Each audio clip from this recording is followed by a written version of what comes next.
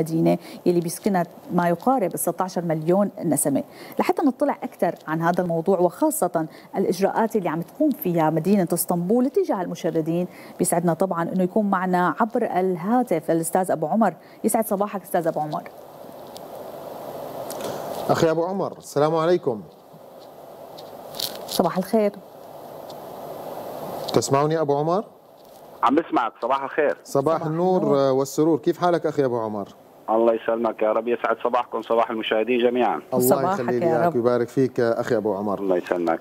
أخي أبو عمر لما نتحدث عن كلمة المشردين ما يعني اصطلاحا بالشكل الرسمي من الذي يطلق عليه اسم مشرد هنا في إسطنبول؟ اللي بيطلق عليه اسم المشرد في اسطنبول هو الذي لا يملك أو ليس لديه مأوى أو منزل يأتوي فيه.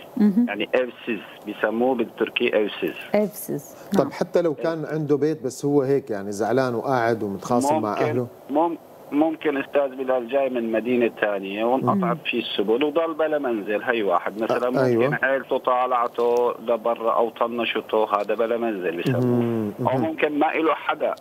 جاي من برا ما ما له حدا ما في شيء بجيبته مصاري أو يدبر راسه. هذا بتسمى evsiz يعني ضل برا شيء مأوى. ضل برا المأوى. ضل برا البيت. جميل نعم. جدا. جميل. طيب أستاذ أبو عمر إذا بدنا نحكي عن الجهة المسؤولة ممكن من هي اللي عم تكون آه وراء مراقبة أو ضبط حال المشردين بشكل عام أو حتى الإبلاغ عن وجودهم؟ يعني آه تقريبا ثلاث جهات. الجهة الأساسية هي وزارة العائلة والعمل. آه والجهة الثانية هي الولاية الوالي لك. والثالثة هي البلدية الكبيرة أو البلديات. البلدية البلديات الفرعية في كل منطقة. الفرعية والبلدية الكبيرة بلدية إسطنبول الكبرى. طيب الآن أخي أبو عمار عندما يقوم شخص ما أو البلدية راقبت وثم بعد ذلك وجدت مشردين ما هي آلية التعامل معهم؟ أه تقريبا هي القصة صايرة كالشكل التالي أستاذ بلال. أحيانا المشرد هو بيجي بيعمل مراجعة. أه. نعم. نعم. أو عن طريق مثلا آه الناس اللي عم تخبر على ال 153 واللي تابع للبلدية. أو 155 تابع للشرطة أو ال 156 التابع للجندرمة أو ال 183 التابع لوزارة العائلة أو مثل ما ساوت ولاية إسطنبول نعم. وزعت أرقام القائمة قامات كلياتها جميل. على الكل عملت إعلان خاص بهذا الشيء وزعت هالأرقام لهالناس وقالت إذا شفتوا أي حدا في الشارع أو خبرتوا إنه في حدا بالشارع نايم بهذا الهواء البارد وضمن هالكورونا طيب. بلغونا على هاي الأرقام. نعم. جميل. طبعا بعد اتفضل. التبليغ بعد التبليغ البلديه مثلا دقيت على 153 تطلع ضابطه من البلدية. يا سلام. تعمل كشف على الوضع. تاخذ الشخص أول شيء إجراءات الصحية طبعا واللي هي تحاليل وصور. ثاني شيء النظافة الشخصية بعدها بيحطوهم بمراكز إيواء أو فنادق مثل ما ذكرت طيب وبعدين حطوهم بمراكز إيواء والفنادق إلى؟ إلى بعد ما ينحطوا بالمراكز والمناطق الإيواء هدول اللي عم نذكرهم طبعا حمام وهالقصص نظافة عامة بشكل عام لبس جديد أكل جديد كله على الخير. بعدين في proje أو مشروع لتشغيل الأشخاص أو إزالة سبب التشرد. جميل. سبب التشرد مثلا جاي من غازي عنتاب على إسطنبول انقطعت فيه السبل. نعم. يعطوا مثلا مبلغ مالي أو بيحجزوا له بالباص مشان يروح على ولايته. كثير بادرة جميلة. نعم. مثلا مرأة لحالها. في وزارة العائلة والعمل. في عندها مراكز حماية المرأة. عاجز عمره فوق 60 65 سنة. في مراكز الايواء تبع العجزة، طبعا في شي مراكز تابعة لوزارة العمل نعم. ومراكز تابعة للبلديات الكبيرة، طبعا بيشتغلوا مع بعض. بيشتغلوا مع بعض. دائما في دائما في مشاريع بين بعض بيشتغلوا مع بعض، هذا بيخبر هذا هذا بيخبر هذا، يعني عنده نقص مثلا عنده مكان موجود طبعا له الختايره أو فرضا طفل كمان الأطفال كمان مثل ما بتعرف أستاذ في لهم دار ايواء خاص تحت نعم. الدولة نعم نعم آه، مثل هاي الحالات بيتم اخذهم لهنيك إذا جميل. كان مثلا شاب يعني بعمر الشباب في مشاريع لهالأشخاص إنهم يفوتوا سوق العمل طبعا بيعملوا لهم تأمين صحي. أول. شيء بداية بيعملوا لهم تأمين صحي فوري آه، بعدها ببلشوا إعادة تأهيل هذا الشخص.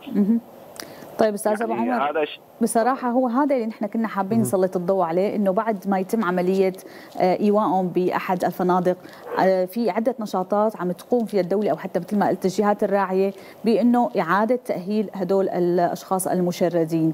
آه، نشاطات أخرى ممكن نذكرها إن تواجدت وهل بيتم على الصعيد الآخر التواصل مع أهالي هدول المشردين محاولة عملية لم شمل أو توصيلهم مثل ما قلت إنه أحيانا عم بيتم قطع فيهم السبل بشكل مفاجئ. طبعا كل مشرد آه، بينسأل انه عائلتك وينها مثلا موجودة في عائلته موجودة يتم التواصل معهم. اجباري بيتم التواصل معهم بين- طيب. بينسالوا إنه هذا الشخص أبوك أخوك آه، أختك موجودة كذا. حابب ترجع تاخذها لعندك من هالكلام. وبينعطى طبعا آه، تخصصت الوزارة هي السنة مبلغ 10 مليون ليره تركي لمساعدة هدول الأشخاص بإيجاد حياة كريمة. إعادة التأهيل بيكون كالشكل التالي. مثلا أنا عندي مسلك الخياطة بيتم تدريبه. بورشات. بعد هالورشات بيتم تسجيله بالإشقور بعد الإشقور بيتم آه، إيجاد عمل لهذا الشخص. يا سلام. يعتمد على نفسه ويستأجر بيت لحاله في حال إنه أهله مرايدين أو هو مقطوع من شجرة. نعم أيوه. نعم. طيب أخي أبو يعني عمر في تفضل في تفضل. دورات مهنية في دورات مهنية لهذا لل- للأمور هاي. كل واحد شو بيتقن عمله. يا دورات سلام. مهنية خاصة فيه بعد هي الدورات طبعا بيتم إعادة التاهيل و... وإيجاد جميل العمل جدا. وبعدها بيمشي حال المشرد وبيخلص من التشرد إن شاء الله طيب أخي أبو عمر هل هذه الخدمات التي ذكرت من لحظة الإبلاغ عن المشرد وحتى إعادة تأهيله وانطلاقه في غمار الحياة كشخص مبدع ومنتج ومفيد متعلقة فقط بالأتراك أم قد تشمل جميع المقيمين على الأراضي التركية؟ أستاذ بلال هي المشرد ل- ما له لا عرق ولا قومية ولا جنسية. مشرد مشرد. يعني, يعني جميع الخدمات. الكل. جميع الخدمات تشمل الكل. أي جنسية كان. آه، شخص آه، برا البيت ما موجود. يعني برا نايم بالحدائق. هذا نعم. ما بيطلعوا على جنسيته. أيوة جميل جميل جميل. له خدمات كلها من دون إنه يطلعوا على جنسيته حتى في ناس مثلا تكون مشردة آه، من الأجانب. إن نعم. كان كملك معه كملك أو معه إقامة أو أي شيء طبعا بيتم إبلاغ دائرة الهجرة بالموضوع. آه، في كمان عمل مشترك بين ال- الإدارتين أو الإدارات هي آه، بضل عندهم إذا ما معه كملك بتم مثلا بيتموا ب- بيراجعوا إدارة الهجرة لهي القصص. نعم. يعني في في عمل مشترك بين الإدارات بهذا الخصوص.